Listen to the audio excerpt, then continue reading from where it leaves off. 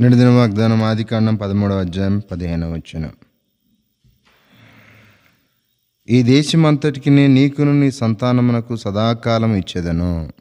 అంటే ఇది మన మూలపుత్రుడైనటువంటి అబ్రాహం గారికి దేవుడిచ్చినటువంటి వాగ్దానం. కాబట్టి నీవు చూస్తున్నటువంటి ఈ దేశమంతటిని నీకును నీ సంతానానికి ఇచ్చేదను అని ప్రభువారు సెలవిచ్చినటువంటి వారుగా ఉంటున్నారు. కాబట్టి మనకి ప్రభువారు ఏం చేస్తున్నారంటే ఎప్పుడు ఇది చెప్పబడితే వచ్చింది?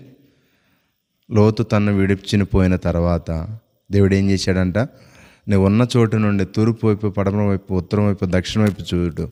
నువ్వు ఉన్నటువంటిది ఉన్నటువంటి స్థలం అని నీకును నీ సంతానానికి ఇస్తానని చెప్పి. కాబట్టి మన జీవితంలో కూడా లోతు వేరైపోవాలి.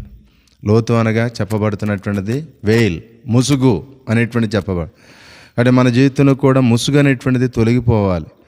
ఆ ముసుగు అనేటువంటి తొలగిపోయినప్పుడు దేవుడు మనం ఉన్న చోట నుండే నువ్వు చూచుని దేశాన్ని నీకును నీ సంతానానికి సదాకాలం ఇచ్చేదనని దేవుడు వాగ్దానం చేసేటండి. కాబట్టి మనం కూడా ప్రభు సందులో ఆ ముసుగు తొలగిపోయినప్పుడు దేవుని సందులో కూడా మనం ఉన్న చోట నుండి దేవుడు మనల్ని కూడా దీవించి ఆశ కాబట్టి మనం కూడా అటు ఆశీర్వాదం పొందుదాం గాక. ఆమె